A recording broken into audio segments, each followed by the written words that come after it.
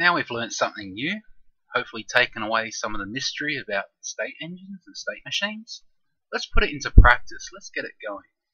So let's create a flashlight script. Now I mention this because anybody that did my old guide, they'd have my flickering flashlight. And if you have a look, we already have a state engine here. Okay, so there was a state engine in one of my latest scripts in the first guide. So what we're going to do, let's rebuild this from scratch. Okay, let's put together our own flickering flashlight. We're going to add some more functionality, of course. We're going to make it something that can be used across not just this project or if you're making a Slender project, but any kind of project where you want a flashlight. That would be awesome. So let's start off. Let's make a new script. This is a new one, so it's going to be a flashlight manager. Going to have some more functionality than the original one. Open that up in our script editor. Great. So let's start off. So, what kind of states would our flashlight have? Let's create an enumerator for that. So, enum. This is going to be an enum for all the states of a flashlight.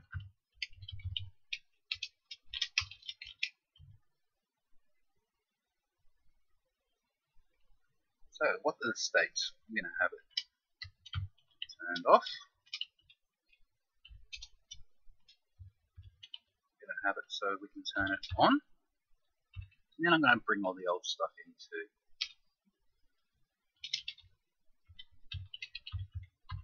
And I still put in some flickering because that was fun. And then, not just for flickering, but just in case it powered down and you had to pick up to power it up again, we could reset it. And I think that's all the states I can think of for now.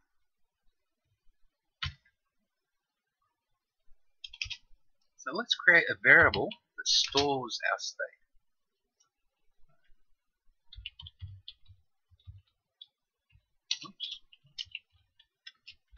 So we have a variable that's declared with the name flashlight state and we have to typecast it. So our variable will hold one of these values.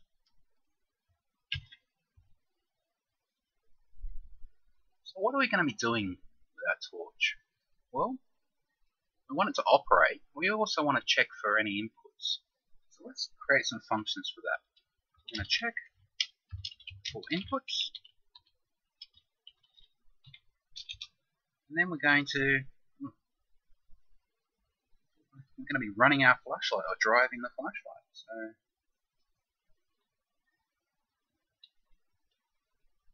uh, let's just go run flashlight.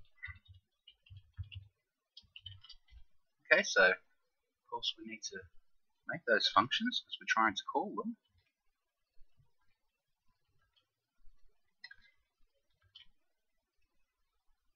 So every update, we're going to check for any inputs. We're going to see if we're turning it on or off, or if it's gone to flickering, and we can reset it. We're going to check for an input to reset as well. And after we've looked at all our inputs, we're going to assign a value to our flashlight state. And then when we have that value, we're going to run the flashlight. So let's look at that. So we create our switch,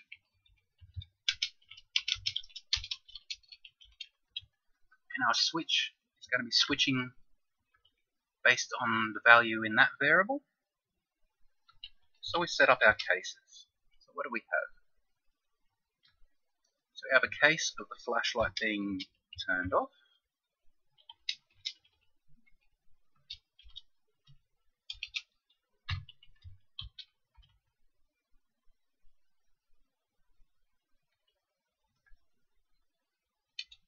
going to have a case for when it's turned on.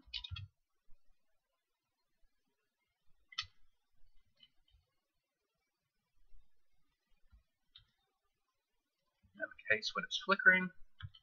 We have a case when it's resetting. Okay, so there's our state engine based on our variable. So let's check for some inputs. Kind of inputs. And We'll have an on-off switch. So by default, let's just call it the key F. We're going to introduce something new. So let's go to the Unity scripting reference. We're going to research input. Our result. a lot of information on inputs and different types of inputs we can have. We can look for a key, we can look for a mouse button, we can look for a predefined button that we've set up in our input manager. Now, I'll cover that later. So at the moment we're just going to be looking for keys. Now we see there's different, three different types of ways for looking for keys. Get key down. During the frame that the user starts pressing the key. So if I press the F get key down will notice that just once when that happens, when it first goes down. And that's the only time it's going to return true.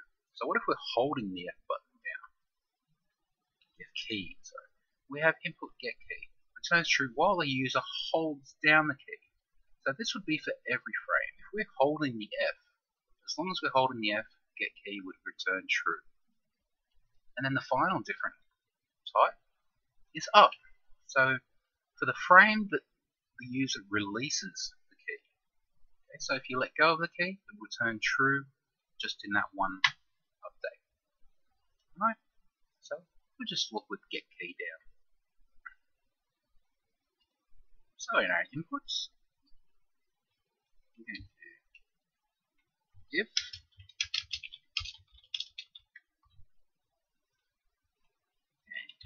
looking for an input and if that input is a get key down, and what key are we looking for? Code F. So we're going to check for an input. We're going to check if that input is F. So F is going to be for turning our flashlight on and off.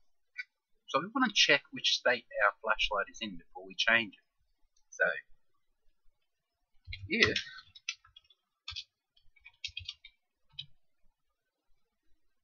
if our flashlight state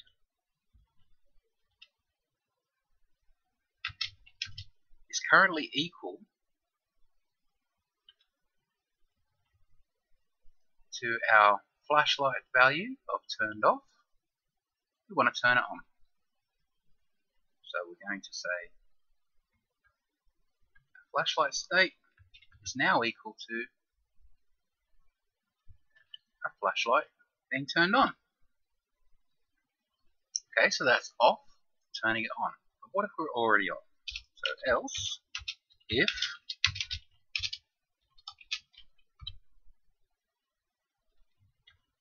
if our flashlight state is already equal to turned on, and we're going to turn it off. So let's recap on that. We'll check for an input. If the player presses the F, we're going to see if the flashlight's off, we're going to turn it on. But if the flashlight's on, we're going to turn it off. Let's save that out.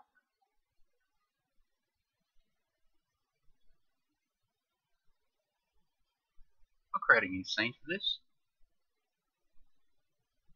Let's save the scene.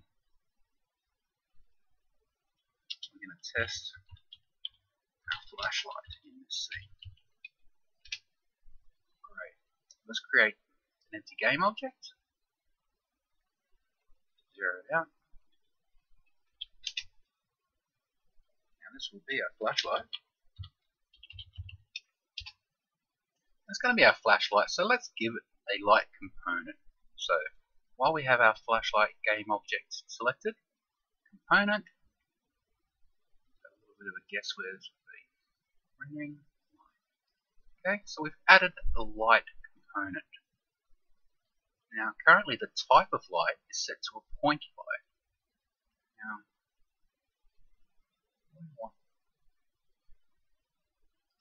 spotlight. Okay, because this is going to be spot. It's going to be pointing forwards. Alright, well that's just a component. Let's get back to the script. So we'll attach that script, our flashlight manager, to our flashlight. Save the scene. Let's see if our state engine is working with our inputs. So if I hit play, currently we're turned off. Now if I hit the F, see that? We're turned on. Now I hit the F again, turned off. Great. So there we go. Our first inputs and running of our state manager. That's awesome. So we actually want to see more than just a value in the inspector or a console output. So let's look at some more stuff. We were working with a light component.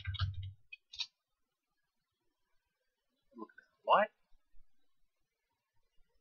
What do we want to do? We want to turn it off and on. We want to enable it or disable it. So we have enabled as a variable of light here. We have an example. This is a generic example. Behavior.enable. But we found this under our light reference. Okay, so we can quite happily say our light dot enable. Let's add that in. And now to our state engine when we're running the flashlight. If we're turning off, you know, light enabled equals false because our flashlight is off. Now if our flashlight is on, our light is enabled, so it's true. Save that out and let's give it a test.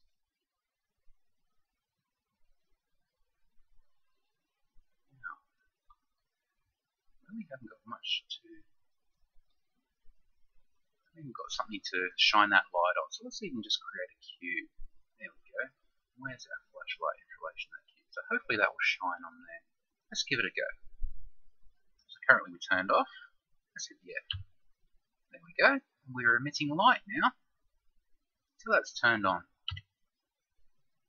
There we have it. Okay, that's excellent.